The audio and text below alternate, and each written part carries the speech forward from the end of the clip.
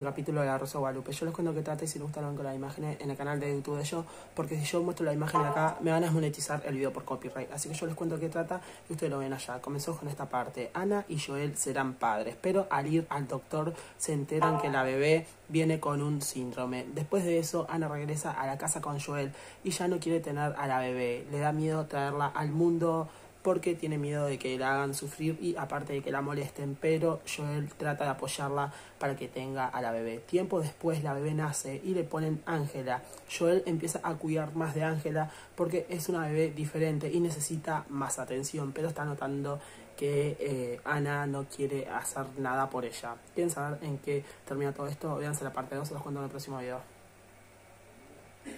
Vamos a la parte de este capítulo de la Rosa Guadalupe. Yo les cuento esta parte y ustedes si les gusta lo ven con las imágenes en el canal de YouTube de yo, porque si yo muestro la imagen acá me van a monetizar el video por copyright. Así que yo les cuento qué trata y ustedes lo ven allá.